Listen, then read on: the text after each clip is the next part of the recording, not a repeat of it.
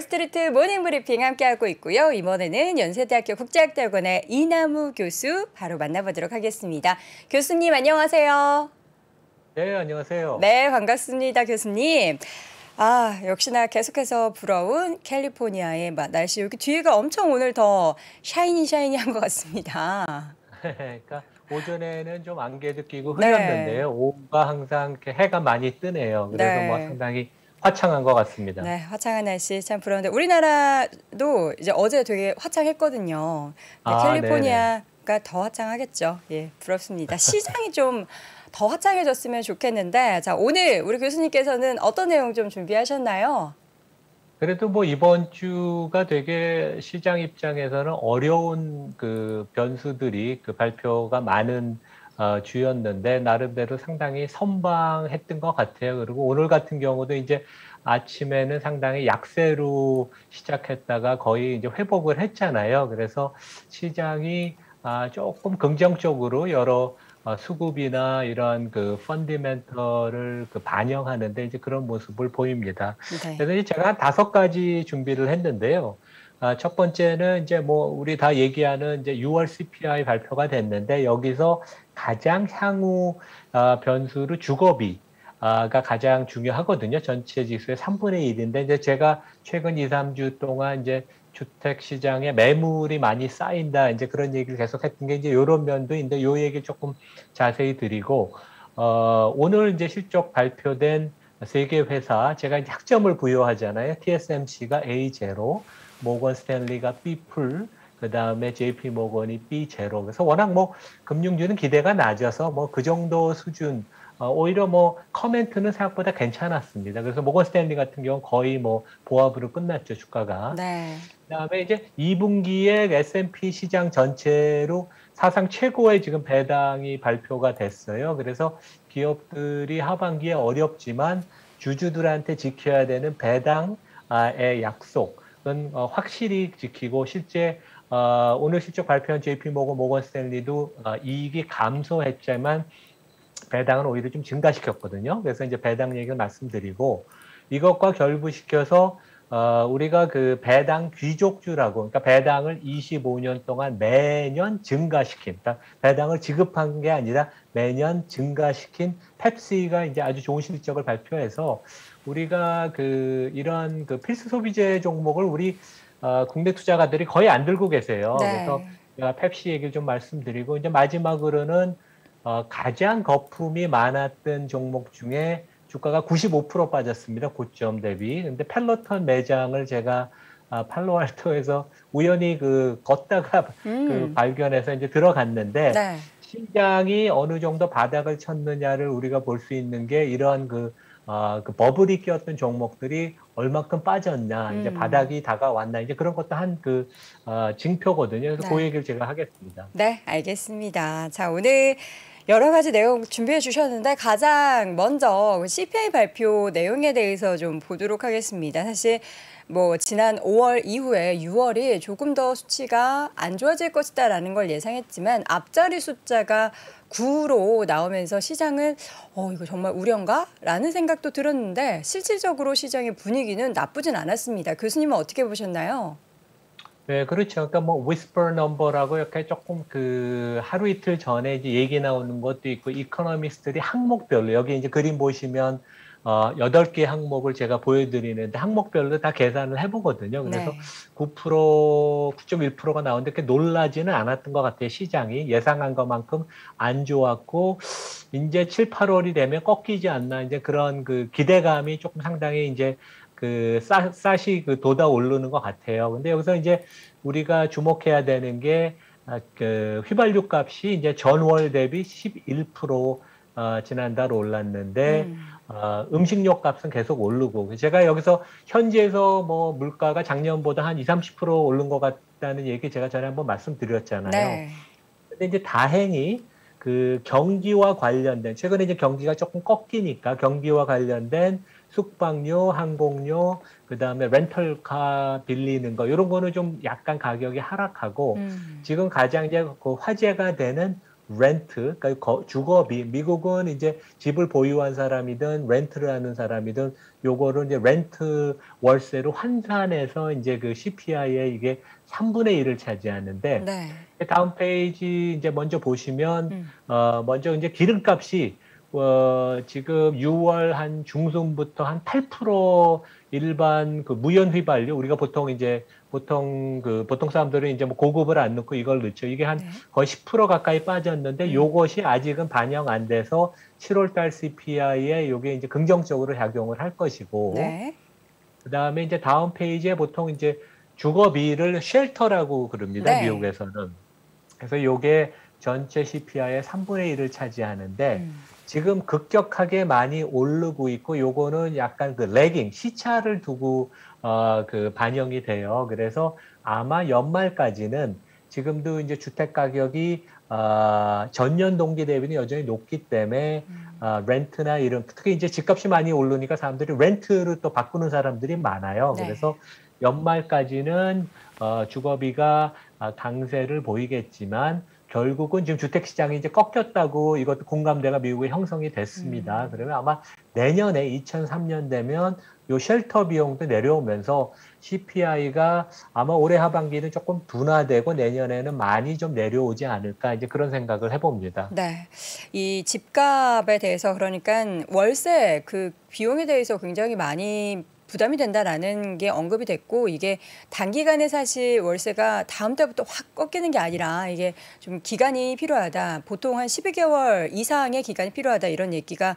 나오면서 어 그러면 CPI가 쉽게 꺾이지 않을까에 대한 우려가 있었는데 말씀해 주신 내용을 들어보면은 하반기 그리고 조금 더 길게 보자면 내년에는 안정을 되찾을 수 있다라는 부분을 확인해 볼 수가 있었습니다. 그런데 이 가운데 있어서 여러 가지 뭐 CPI, PPI뿐만 아니라 뭐 가격, 상품 가격도 그렇고요. 미국의 경기가 지금 둔화되고 있는 시그널들이 굉장히 많이 보이고 있죠.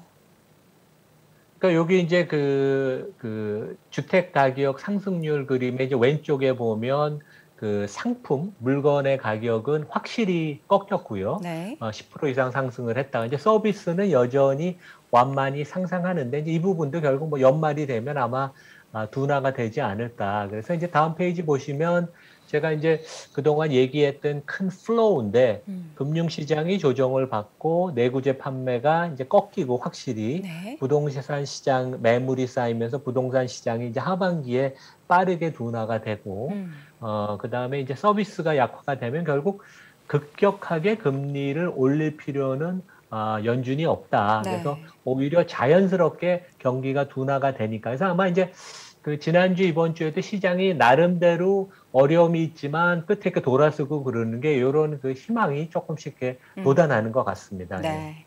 희망 속에서 앞서서 잠깐 언급해 주셨던 이제 실적에 대한 부분을 이야기할 드릴, 드릴 텐데요. 제가 아까 실적 이야기하면서 어제 발표한 기업의 이름이 정말 기억이 안 나는데 댓글을 조금만 빨리 봤어도 알아차렸을 겁니다. 델타. 델타, 왜, 델, 예, 델타. 왜 델만 기억나는지 모르겠습니다. 요즘 자꾸 기억력이 오락가락합니다. 자 교수님, 네. 은행주 실적 발표 부분 좀 분석해 주시죠. 예, 그러니까 뭐 JP 모건 제가 전에도 얘기했는데 이제 제가 여기 뭐 20몇 년 전에 근무했던 그 그쵸. 그 종필 모간이라고 이제 우리 농담으로 옛날에 그래서 네. 그래서 그 한 달 전에 이 월가의 황제인 CEO 이제 제이미 다이먼드가 허리케인이 태풍이 다가온다 그런 얘기를 해서 뭔가 대단한 얘기를 오늘 할 줄 알았는데 음. 그 바로 밑에 있는 CFO는 먼저 이런 얘기를 했어요. 아직까지 우리가 2분기 실적을 토대로 하면 경기 침체의 조짐은 전혀 없다. 네. 그 대신 이제 이 회사가 충당금을 경기 침체를 가정하고 충당금을 한 4,400억 달러 한 거의 한 6천억 썼습니다. 음. 일부는 이제 신용카드 관련된 이제 손실을 예상해서 그래서 어, 기본적으로 실적은 워낙 시장의 기대치가 낮았기 때문에 어느 정도 부합하고 그다음에 정, 그 경기 관련 충당금을 쌓을 줄 알았는데 어, 뭐 한 6천억 쌓았으니까 예상대로고 그 대신 이제 이 회사가 조금 surprise를 줬던 게 우리가 이제 자본을 어, 확실하게 어, 경기 침체가 혹시 있다면 대비를 해야 되니까 자사주 매입 프로그램을 당분간 네. 중단한다. 네. 네. 그게 조금 약간 부정적인 surprise였었고 네. 근데 이제 이 회사가 전반적으로 보면 이제 배당 수익률이 한 4%. 그러니까 미국 뭐 국내도 그렇지만 이제 미국 금융주는 배당이 높고 음. PER가 주가가 지금 뭐 한 1년 사이에 40% 가까이 빠졌어요. 그래서 PER가 11배여서 뭐 괜찮아 보이긴 하지만 저는 개인적으로는 이제 다음 페이지에 설명드릴 아, 모건 스탠리를 선호한다. 그래서 네. JP 모건은 이제 한국으로 치면 뭐 종합금융 지주사 에 해당되고 음. 모건 스탠리는 우리 입장에서 보면 뭐 한국 어, 금융 아니면 삼성증권 미래에셋 같은 음. 그런 스타일이에요. 그래서 증권사인데 특히 자산운용, 웰스 매니지먼트가 어마어마한 가장 큰 그런 어, 거를 가져서 이제 기업 어, 그 골드만은 기본적으로 어, 최고의 증권사. 그러니까 이제 모건 스탠리랑 골드만하고 경쟁을 하죠. 근데 골드만은 일도 빡세지만 일하기에 좋은 회사. 그러니까 음. 급여가 높으니까. 근데 모건 스탠리는 주주한테 조금 더 좋은 회사. 회사도 좋지만.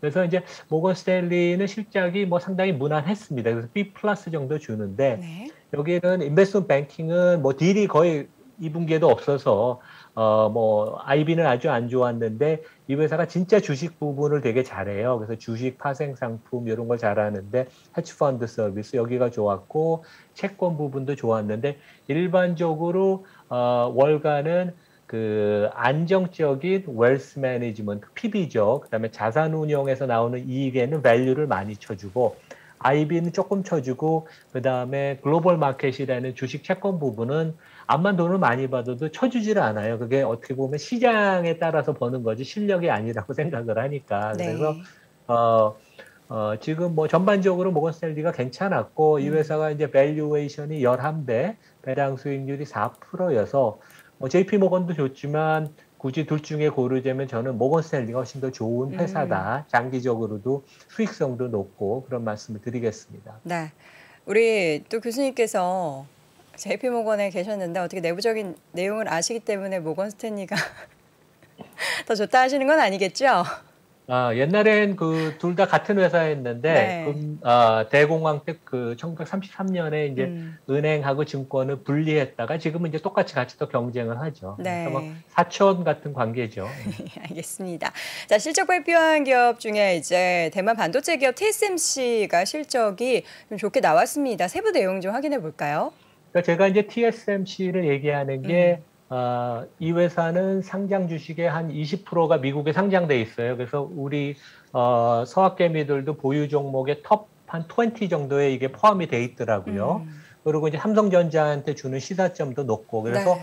삼성전자도 2분기 실적이 괜찮았는데 TSMC는 아주 좋은 실적을 그래서 A 제로 학점을 오. 줍니다. 그래서 매출이 44% 증가했고 영업이익 EPS가 거의 80% 각각 증가를 했고 진짜 놀라운 건 매출 총이익률이 59% 영업이익률이 49%. 그러니까 제조를 하는데 영업이익률이 50%가 된다는 건 진짜 대단한 거예요. 애플보다도 높거든요. 음.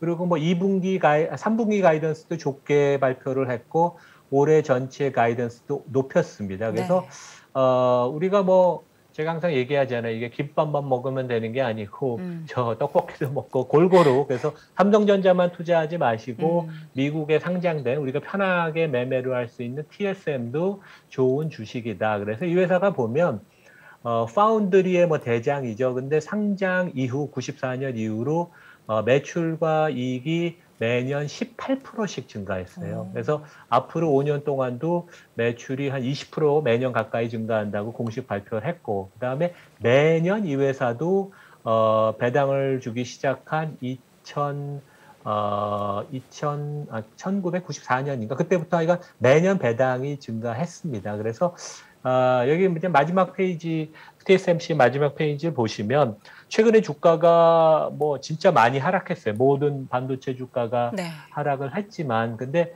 어, 이 최근에 조정이 좀 과도한 것 같고 제가 보기엔 음. 이 회사 이제 지난 10년 동안 주주로서 총 수익률 내가 배당 받은 거랑 주가 오른 걸 계산하면 총 수익률이 매년 24%였습니다. 음. 최근에 주가가 한 3, 40% 하락한 건 감안해도 그러니까 뭐 진짜 좋은 회사고 네. 비즈니스가 안정적이고 음. 이번에 아, 2분기 실적에서 다시 검증이 됐죠. 네. 실적이 어쨌든 기업 잘 운영되고 있다는 게 이번 실적에서도 검증이 된 TSMC까지 확인을 해봤습니다. 자, 지금 실적 발표 내용을 이렇게 쭉 봤는데 어, 금융주의 실적이 뭐 시장 예상치를 하회했다라고는 하지만 그렇게 분위기가 너무나 나쁘다 이런 생각은 안 듭니다. 사실 저는 그 2분기 실적 가이던스에 대해서 어, 이거 좀 많이 조정해야 되는 게 아닌가라는 생각이 들었는데 실적을 또 뚜껑을 열어보니까 생각보다 나쁘지 않은 기업들이 좀 많이 나오고 있는 것 같아서 분위기는 괜찮은 것 같은데 지금 사실 실질적인 주가 수준은 굉장히 많이 내려와 있거든요. 뭐 체감도 그렇고 실질적으로도 그렇고 그렇죠. 지금 예. 구간은 어떻게 좀 볼 수 있을까요? 그러니까 뭐 금융주가 되게 좋았다가 지난 1년 특히 금년 들어서 주가 하락폭이 높았죠. 업종 전체로 한 30% 네. 하락을 했으니까 그래서 이제 최근에 2분기 지난 1분기도 안 좋았지만 이제 어, 실적이 안 좋은 게 항상 주가는 선 반영 미리 그것을 어, 반영을 하니까 이제 그런 것을 많이 어느 정도 반영을 한 것 같아요. 네. 그래서 아주 혹독한 경기 침체가 아니면 음. 제 생각에는 은행들 증권사 실적이 내년에 좀 살아날 것 같거든요. 음. 그래서 상당히 뭐 조금 그 제 생각에는 일부 종목은 우리가 조심스럽게 좀 관찰을 해야 되는 게 아닌가 그렇게 보입니다. 네. TSMC의 주가 수준은 그럼 어떨까요? 지금 실적에 대한 그리고 앞으로 향후 가이던스도 좀 긍정적이었는데 그에 대비해서 좀 주가 상황 어떻게 좀 평가하십니까? 그이 회사 PER가 13배면 네. 어, 이 회사는 항상 삼성전자나 반도체 업종, 어, 마이크론이나 이런 것 대비 프리미엄에 거래가 됐어요. 왜냐 이게 안정성 때문에 음. 약간 비즈니스 모델이 틀리잖아요. 그래서 PER가 13배까지 내려온 적은 거의 없는 것 같아요. 그리고 이 회사가 수요가 조금 영향을 받고 재고가 약간 쌓이기는 하지만 우리 비즈니스는 전혀 근본적으로 흔들림이 없다. 그래서 오히려 뭐 올해도 guidance를 올렸잖아요. 네. 그래서 너무 과도하게 많이 빠진 것 같습니다. 그래서 음. 제가 시장을 미국 시장을 조금 이제 하반기에 좋게 보자. 바닥이 멀지 않았다 그런 얘기를 하는 게 주가가 이제 시장 전반적으로 빠지면서 너무 좋은 기업들이 일부는 너무 과도하게 많이 빠진 것 같습니다. 네. 자, 알겠습니다. 실적 부분 또 주가의 그 실적 대비해서 지금 어떤 구간인지에 대해서 이야기 나눠봤고요. 이번에는 배당 얘기를 좀 해보죠. 사실 이 기업이 힘들면 뭐 자사주 매입 중단한다라는 제피모건의 결정처럼 배당도 줄여 가거나 할 텐데 오히려 배당을 좀 늘려가고 있는 게 미국 시장인 것 같아요. 네, 그러니까 오늘 그 월스트리트 저널 기사인데 음. 여기 이제 그림을 보시면 2분기에 이제 배당 발표한 거를 총계 집계를 해보니까 아, 작년 동기 대비 14%. 그러니까 기업 이익은 이제 꺾이기 시작하는데 기업들이 우리 회사가 건실하다. 그다음에 주주에 화답하는 차원에서 배당을 확실히 어, 증가시키는 그런 모습을 보이고 그다음에 이제 배당 많이 주는 고배당주 기업들이 아웃퍼폼을 올해 많이 했죠. 그래서 그 다음 페이지 그림을 보시면 어, 금리가 올라가지만 배당도 많이 지금 증가를 해서 음. 이런 기업들이 퍼포먼스가 좋고 그 다음에 이제 자사주 매입 소각도 2분기까지는 사상 최고치를 기록을 했는데 아마 하반기 들어서 기업 이익이 좀 꺾이면 배당은 유지하지만 자사주 매입 소각은 조금 줄이거나 감소, 아까 JP 모건 같이 일시적으로 중단하는 데들이 있을 것 같아요. 그래서 네. 우리가 이제 미국에서 보통 배당을 25년 동안 매년 증가시킨 데를 배당 귀족주, 50년 동안 매년 증가시킨 데를 황제주라고 그러는데, 음. 아, 제가 좀 이따 말씀드린 뭐 펩시, 맥도날드, 뭐 타겟, 월마트 이런 데가 배당 귀족주고, 황제주는 제가 여러 번 얘기했던 P&G, 존슨, 그러니까 우리 헬스케어의 대장주, 코카콜라, 뭐 이런 콜게이트 팜올리브 이런 게 다 필수 소비재 헬스케어 종목들이에요. 그러니까 요거는 50년 동안 매년 배당을 증가시킨다. 그래서 어, 우리가 너무 IT 공격적인 투자하는 것보다는 그런 종목을 많이 갖고 가도 요런 그 안정적인 종목들. 그다음에 펩시 같은데 제가 설명드리겠지만 지난 10년 동안 보면 연평균 매년 주가가 배당 포함해서 12% 수익을 우리한테 돌려줬어요. 음. 그래서 오히려 IT보다도 장기적으로 좋은 성과를 보이긴 또한 그런 종목들이 네. 필수 소비자에도 많습니다. 예. 네, 그 가운데 있어서 지금 이제 배당 관련한 매력도 가지고 있지만 또 최근에 실적 발표한 펩시 이야기를 먼저 좀 해보도록 하겠습니다. 실적에 대한 자신감을 앞으로도 좀 내비쳤더라고요. 이제 앞으로 우리 가격이 올라가도 고객들이 우리 제품 먹을 것이다. 이런 좀 자신감을 내비친 것 같은데 또 배당도 굉장히 꾸준히 주고 있는 펩시부터 좀 확인해 볼까요? 이제 펩시가 그 탄산음료, 그 다음에 뭐 음. 뭐 음료 부분이 있고 스낵 부분도 되게 잘 돼요. 그래서 네. 코카콜라는 이제 음료가 대부분인데 여기가 2분기에 가격 인상은 10% 이상 했어요. 그래서 음. 그 기존 비즈니스에서 매출이 한 13% 증가했고 그 다음에 실적 발표하면서 올해 전반적으로 매출 가이던스를 상향 조정했습니다. 음. 올해 한 8% 증가한다고 예상했다가 한 10%로 하고 그 다음에 주주 환원을 어, 금년에 어, 한 77억 달러 하겠다. 음. 거의 뭐한 9조 원, 10조 원 되죠. 그래서 네. 여기는 배당을 좀 더 많이 합니다. 자사주 매입 소각보다는. 그래서 이제 배당을 많이 주는 기업이고 다음 페이지에 보면 이제 골드만이 이제 실적 발표 후에 그 이제 정리한 거를 보면 네. 답답하기는 할지 몰라요. 좀 우리 공격적으로 투자하는 분들은 근데 EPS가 경기가 좋든 안 좋든 매년 5에서 10% 꾸준히 증가하고 그 다음에 한 3% 정도 배당 수익률을 주고 음. 퍼가 이제 이런 종목들이 최근에 주가가 오히려 올라서 퍼가 한 25배에 대해서 조금 부담은 가지만 뭐 당장은 아니지만 이런 것들이 좀 주가가 빠지면 포트폴리오에 꼭 넣어야 된다. 저는 음. 그런 생각을 합니다. PNG 뭐 이런 거랑 비슷하게. 그래서 펩시 주가 이제 84년 이후로 장기 주가 차트를 보면 진짜 안정적으로 우상향을 합니다. 그래서 음. 금융위기 2008년 빼놓고는 그래서 어, 우리가 지난 10년 동안 계산을 해보면 매년 주가가 평균 9% 올랐고 배당 수익률을 3% 매년 받으니까 주주 입장에선 총 수익률이 매년 12%예요. 그래서 네. 미국 시장보다 높죠. 그래서 아주 뭐 훌륭합니다. 음. 네. 지금 저는 펩시의 그 맥시멈 쭉 상장 이후의 차트를 보면서 깜짝 놀랐습니다. 제가 태어났을 즈음에 이 펩시를 샀다면 지금 거의 뭐 170배 정도의 그렇죠? 예, 수익을 얻을 수 있는 종목인데 말씀해 주신 것처럼 뭐 big tech 종목 투자하는 것보다 이 종목이 훨씬 안정적으로 어, 주가 수익률을 더 낼 수 있지 않은가라는 그런 생각도 드는데 앞으로도 어, 기대될 부분들이 많은 종목인 것 같고요. 지금 교수님께서도 차트를 준비해 주셨는데 연 평균 수익률이 10년 동안 12%라고요. 이게 굉장한 네, 그러니까 거잖아요. 매년 한 3% 배당을 줬고 네. 거기에다가 이제 주가 오른 거를 지난 10년 동안 이제 복리로 계산을 해보면 이제 음. 항상 저는 한 10년 정도 계산을 해보는데 연 9% 주가 상승 포함해서 연 12%를 줬습니다. 근데 이런 종목들이 비슷해요. P&G도 연 한 11% 정도 나오거든요. 음. 그러니까 이제 우리가 너무 어, IT, 소프트웨어, 플랫폼 이런 데만 관심 갖지 말고 이런 네. 종목들도 우리 그 포트폴리오에 좀 있으면 좋을 것 같아요. 예. 네. 펩시를 보면서 향후 나의 노후는 펩시로 해야 하나 이런 생각을 좀 지금 계속 해봤습니다. 자, 지금 교수님 요 다음 장을 딱 보니까 지금 시기에 좀 필요한 그런 문구를 좀 준비해 주셨는데 요거 좀 소개해 주시죠. 그러니까 이제 아마 그 시장이 뭐 바닥권에 진입했다고 저는 생각을 하는데 네. 그러니까 포트폴리오를 조금 교체하거나 추가로 어, 현금 있는 분들은 아마 이제 투입을 하는 분들도 좀 계실 건데 이제 제 영상에 댓글도 보면 그런 분들이 있더라고요. 근데 네. 이제 우리가 제가 당부 말씀을 드리는 거는 우리가 미국에 투자하는데 특히 너무 과도한 리스크를 지면서 대박을 꿈꾸는 게 아닌가 음. 이제 그런 생각이 들고 왜냐하면 우리 서학개미 보유 50대 종목을 보면 포트폴리오가 다 그렇거든요. 그래서 투자라는 거는 가급적이면 적은 리스크를 지고 안정적인 수익을 창출하는 거예요. 그래야지 장기적으로 윈하거든요. 그래서 가장 똑똑하다는 헤지펀드들을 보면 투자 아이디어를 창출하고 그 다음에 그 투자 아이디어를 집행하는데 음. 내가 종목을 고르거나 발행 상품을 만들 때 어떻게 리스크를 축소하느냐를 항상 고민하거든요. 그래서 리스크를 우리가 어떻게든지 가급적이면 적게 지고